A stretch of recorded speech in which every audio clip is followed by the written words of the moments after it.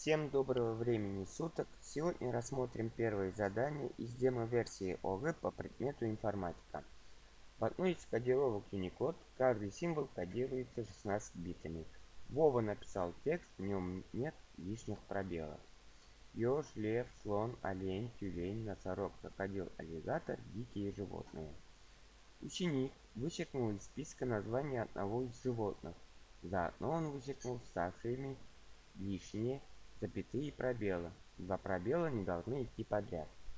При этом размер нового предложения данной кодировки оказался на 16 байт меньше, чем размер исходного предложения. Напишите в ответе вычеркнутое название животного. Давайте разберемся, что у нас каждый символ кодируется 16 битами. Мы знаем, что 1 байт равен 8 бит. Поэтому 16 делим на 8, получаем 2 байта.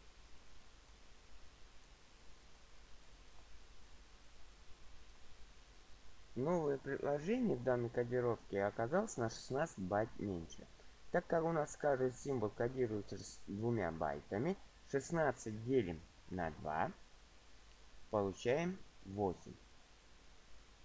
Получается, ученик вычеркнул 8 символов. При этом в эти 8 символов входят запятые и пробелы. Давайте начнем разбираться. Ёж. Два символа и плюс еще запятая.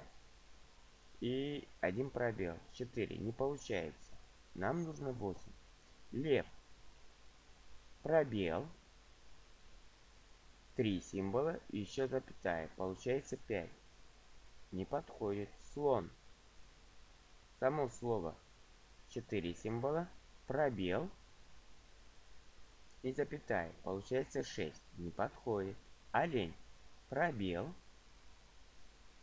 Слово из пяти букв.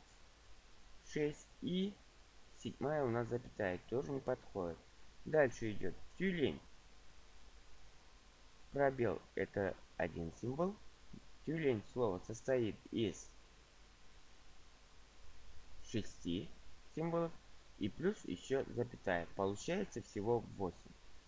Я думаю, дальше смысла нет проверять, потому что носорог состоит уже из 1, 2, 3, 4, 5, 6, 7, запятая 8 и пробел 9.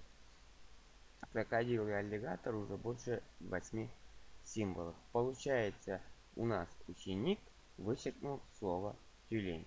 В ответе просто пишем данное слово. Спасибо за внимание. Подписывайтесь на канал. До новых встреч.